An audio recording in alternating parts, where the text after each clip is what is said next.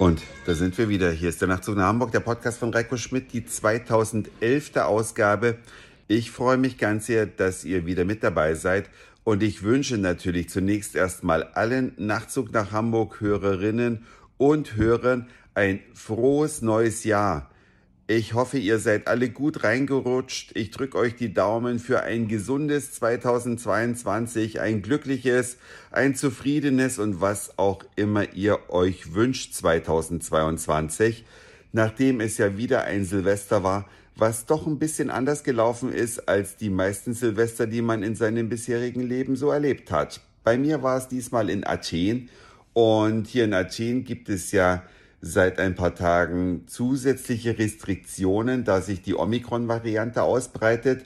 Es darf keine Musik mehr gespielt werden. Restaurants müssen um, drei, äh, um Mitternacht schließen. Zu Silvester war es ein bisschen ausgeweitet. Da durften die Geschäfte bzw. Restaurants bis zwei Uhr nachts offen halten. Und für mich besonders interessant war, dass hier immer noch überall Weihnachtslieder laufen, obwohl Weihnachten ja eigentlich schon vorbei ist. Selbst heute am Neujahrstag läuft überall Weihnachtsmusik in der Stadt und gestern hatten die Geschäfte auch wirklich bis zur letzten Sekunde geöffnet. Ich weiß gar nicht, ob die Leute an Silvester noch Weihnachtsgeschenke kaufen in Griechenland. Ich kenne die Sitten und Gebräuche dafür hier zu wenig.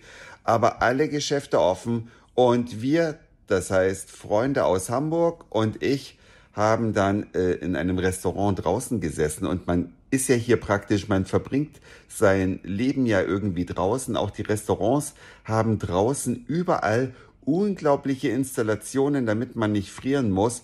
Teilweise fest verlegte Gasleitungen über den Köpfen der Gäste, wo dann diese Heizungen alles voll bollern mit Wärme oder auch Heizpilze, die neben die Tische gestellt werden. Unser Tisch mit vier Personen hatte zwei Heizpilze, so dass wir wirklich überhaupt nicht frieren mussten. Ganz im Gegenteil, wir mussten unsere Jacken ausziehen, damit wir in der Hitze nicht weggeschmolzen sind.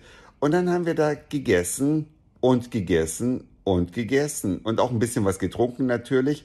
Allerdings, ja, ich hätte jetzt fast gesagt, wir haben ja beim Griechen gefeiert. Es gab keinen Sekt. Wir haben also um Mitternacht angestoßen mit Uso. Ansonsten haben wir uns an Wein gehalten, um den Abend zu verbringen. Und keine Musik, das war verboten hier in Athen. Es darf nirgendwo, durfte nirgendwo Musik gespielt werden. Allerdings am Nachbartisch haben welche gesungen. Das konnte man scheinbar nicht verbieten. War jetzt nicht so ein toller Gesang, aber immerhin war es ein bisschen musikalische Untermalung. Und um Mitternacht, was ja in Athen eine Stunde vor Mitternacht in Deutschland stattfindet, da wurde dann mal kurz ein bisschen geböllert, aber ich glaube, es war mehr das offizielle Feuerwerk über der Akropolis, welches man gehört hat. Und wenige Minuten später war dann auch schon Ruhe. Und da eben es danach nicht in den Clubs der Stadt weiterging und so ein exzessives Feiern eingesetzt hat, was ja häufig Silvester passiert, wenn man dann zum Beispiel in Hamburg feiert, dann nach der Privatparty noch auf die Reeperbahn geht und dann bis in den Morgen rein feiert und säuft, weil das alles ausgefallen ist, war man natürlich zeitig im Bett. Ich habe dann tatsächlich noch bis ein Uhr hiesiger Zeit gewartet, damit ich zu Hause noch allen Lieben ein frohes Neues wünschen konnte. Und dann war man anschließend schon im Bett. Und man hat ja dadurch, äh, dass man weniger getrunken hat, war man auch früh auf den Beinen. Und wir wollten dann heute hier so einen kleinen Tagesausflug machen. Allerdings haben uns da die griechischen Verkehrsbetriebe einen Strich durch die Rechnung gemacht. Wir kamen also zum Busbahnhof hin um 10.30 Uhr sollte der Bus losfahren und zwar an die Küste zu einem Kap. Ich weiß jetzt nicht, wie es richtig ausgesprochen wird, aber da soll es unheimlich toll sein. Da soll es einen alten Tempel geben und da soll man einen fantastischen Sonnenuntergang besichtigen können.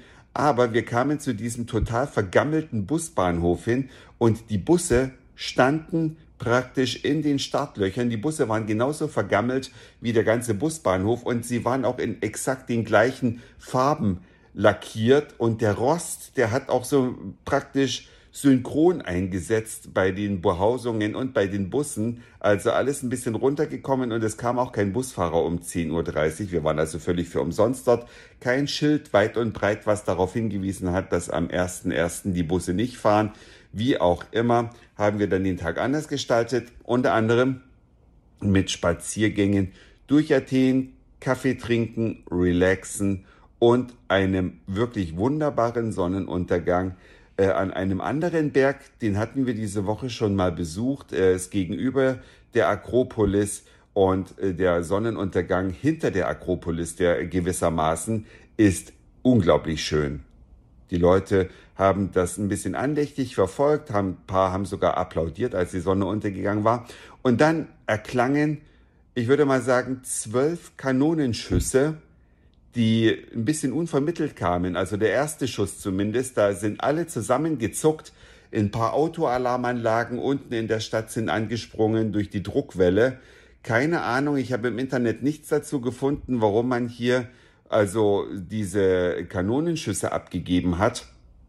Und äh, nachdem das Spektakel dann vorbei war, ja, noch ein bisschen durch die Stadt spaziert zur Pferderennbahn hin, die extrem gut erhalten oder wieder aufgebaut ist, das kann ich nicht sagen. Auf jeden Fall im abendlichen Licht, äh, auch von LED-Scheinwerfern, wunderschön in Szene gesetzt, unglaublich toll unglaublich erhaben, unglaublich elegant vielleicht sogar, also wirklich eine schöne Anlage.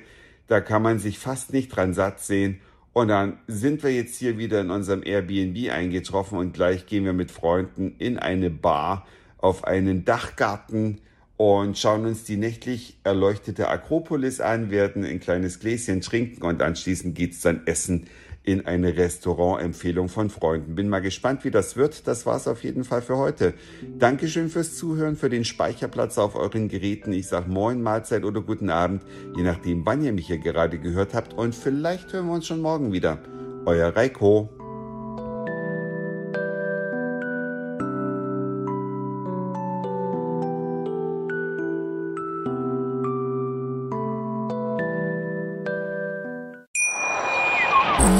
Mich natürlich schockverliebt, weil die war wirklich ganz, ganz klein. So begann die Mensch-Hund-Beziehung zwischen Christina und Tierschutzhund Frieda. Und wie es danach, nach dem ersten Moment der Verliebtheit, so weiterging und welche Klippen es danach zu umschiffen galt, das hört ihr in der neuen Ausgabe von Iswas Dog, dem Podcast für harmonische Mensch-Hund-Beziehungen. Iswas Dog?